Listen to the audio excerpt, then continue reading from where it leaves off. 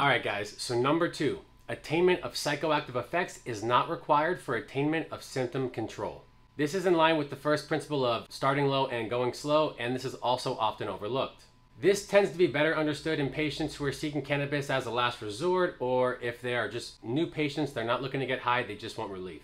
For those of you who are still trying to go for the highest THC containing products, let me just remind you, those are not always better. Sometimes this can be counterproductive, and here's why. You can get too high, and this is the bad kind of high. Especially in new patients when first starting out with high THC containing products, this is more likely going to happen than not, and this will usually deter you from trying again, so we want to avoid this at all costs. A better idea would be to start with CBD or the CBD to THC ratios like we kind of already mentioned.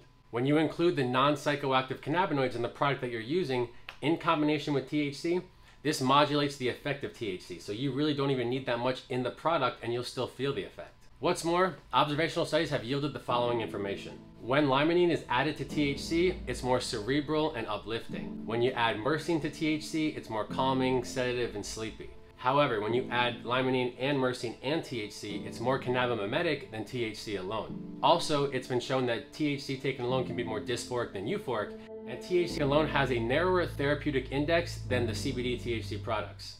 And more on the dysphoria with THC. Sometimes too much THC can actually worsen or exacerbate the symptom that we were initially trying to have control for in the first place. A great example of this is anxiety.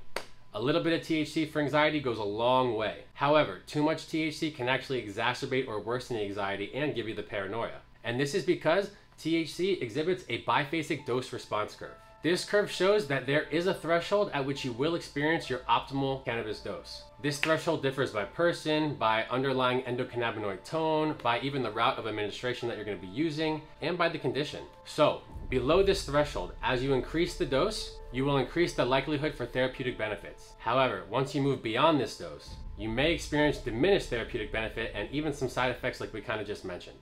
And lastly, using high THC containing products can usually lead to a tolerance. This may or may not be a good thing depending on the situation. If this is not desirable, I have a way to decrease your tolerance. There is something called the sensitization protocol that was popularized by Dr. Sulak that we will mention in another video soon. However, sometimes gaining tolerance is desirable, and this kind of brings us back to the initial point. You don't always need to feel the psychoactivity to get the relief. So patients can develop a tolerance to the psychoactivity of cannabis rather quickly, like over a period of days, without concomitant tolerance to the benefits. This is in stark contrast to many other pharmaceuticals, like opioids too. Some other non-psychoactive strategies to utilize while using cannabis are using the acidic preparations like THCA, CBDA, CBGA, using the topical application of cannabis like lotions, balms, salves, transdermal patches, and then even microdosing cannabis. These are all ways to use cannabis without getting the psychoactivity involved.